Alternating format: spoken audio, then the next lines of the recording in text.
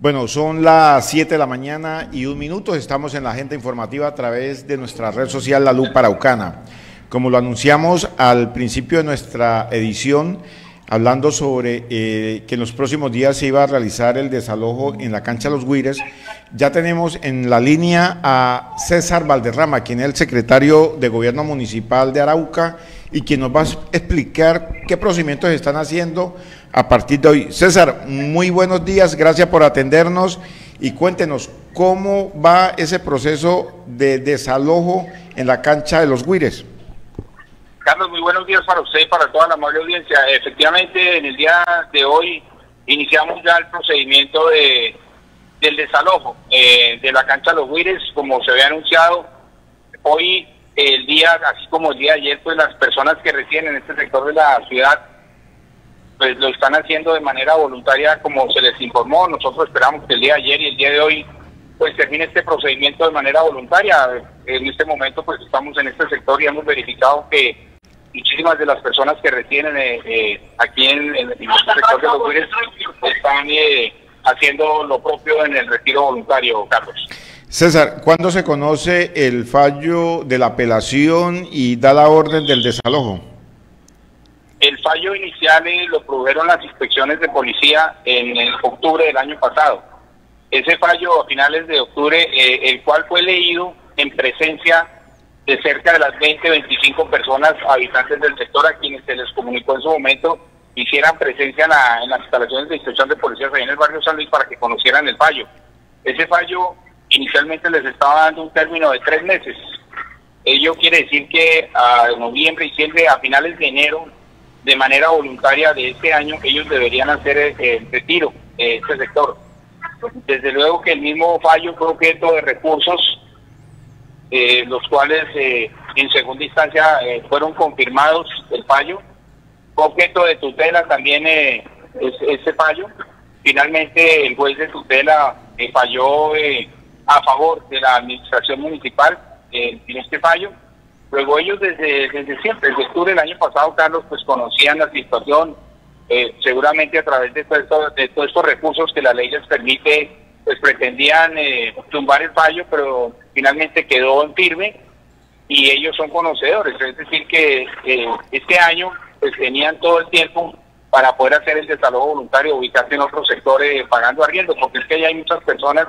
que no entiende uno pagan arriendo a quién sabe quiénes, porque es que nadie puede ser propietario de terrenos que se ubiquen en este sector, pues esos no son bienes de propiedad privada, sino son del Estado y es una zona ambiental. Entonces, usted hasta donde mucha gente se ha aprovechado de estas personas. Eh, conocemos de una señora aquí de cerca, enfrente ahí, o por los lados de Luis, que tiene cinco o seis sitios y los tiene arrendados a, a personas allá adentro. Entonces, fíjese que esto se volvió un negocio para mucha gente, pero aparte de eso, Carlos, pues usted sabe la connotación que tenía esos temas de seguridad y convivencia para todo el municipio. Este es un clamor o este es un hecho que resulta no por el querer del doctor Edgar Fernando Tobar Serata, nuestro alcalde, no de sus secretarios, sino era un clamor de la comunidad general, de los 100.000 habitantes del municipio que venían reclamando la recuperación de este sector, teniendo en cuenta que allí eh, se suscitan eh, muchísimas circunstancias particulares en tema de microtráfico, en tema de consumo de sustancias psicoactivas, el tema de que muchas de las cosas que en la ciudad eran robadas, las tapas de alcantarilla, ventanería, bicicletas, electrodomésticos, cualquier cantidad de cosas desafortunadamente iban a parar el sector de la ciudad, Carlos. Entonces, lo que estamos haciendo aquí es simplemente dando cumplimiento a un fallo que cumplió todo el debido proceso. Nosotros hemos realizado al día más de cinco o seis reuniones en los últimos dos meses, precisamente con toda la institucionalidad a efectos, en primera instancia, de hacer un desalojo con todos los cumplimientos de ley, para respetar los derechos humanos, que es lo primordial, para respetar la gente, pero aquí hay que entender una cosa, Carlos, y es que, desde luego, hay gente buena, por supuesto que hay gente buena ya viviendo, ni más faltaba, pero son personas que en el tiempo permitieron, fueron testigos de todos los atropellos, de todo lo que estaba sucediendo en este sector y nunca tuvieron la, el convencimiento de poder denunciar. Y eso era una cosa que se podía hacer de manera anónima. Uno no esperaba que alguien de allá fuera y pusiera la cara por el riesgo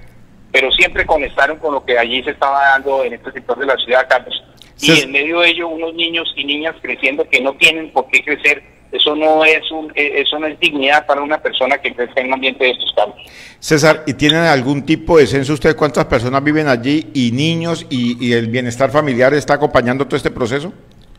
Por supuesto, Carlos. Pues, cuando yo le digo de toda la institucionalidad, incluye toda la institucionalidad, el Ministerio Público,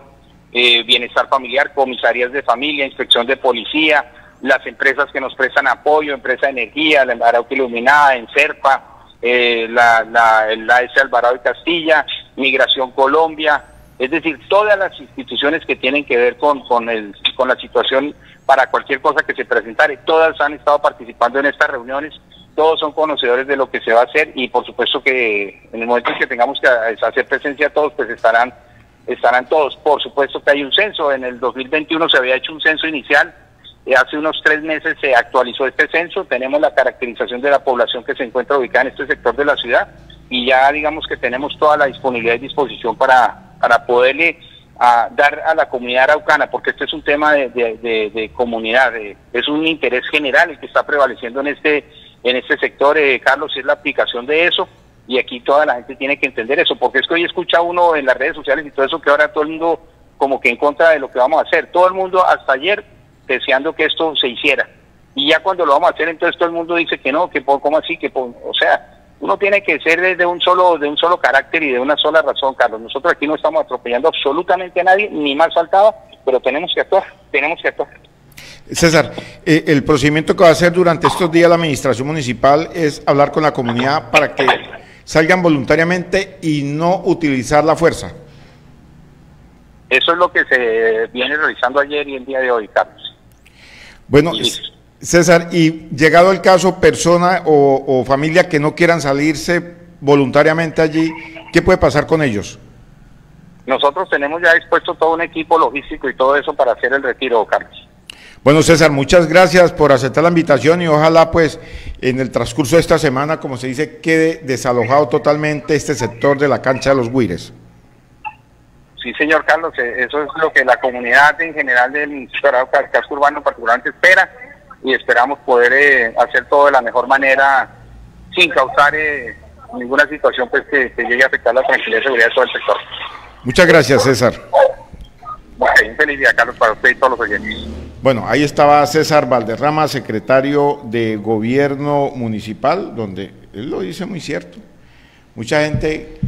quiere que esto se, se, se realizara este desalojo, ahora salen que hoy en, el transcurso de la mañana muchos están escribiendo por las redes sociales que no, que hay que esperar, que, yo, que no, ya hay un fallo judicial y hay que cumplir con, con este fallo. Y lo que dice César Valderrama muy cierto, el secretario de gobierno, no están atropellando a nadie, están voluntariamente allí se le está diciendo a las personas que hay que salir, que ellos ya conocen ese fallo y que muchas personas ya están saliendo voluntariamente desde del sector de la cancha de los Guires. Y algo que quedó preocupante es que ¿cómo es posible que allí se convierta en un negocio que construyen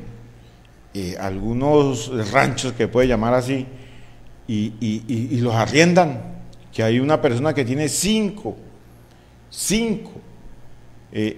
eh, lotes arrendados allí en el sector de la cancha de los Guires y que eso nos ha permitido y que uno no entiende por qué estas personas están pagando arriendo.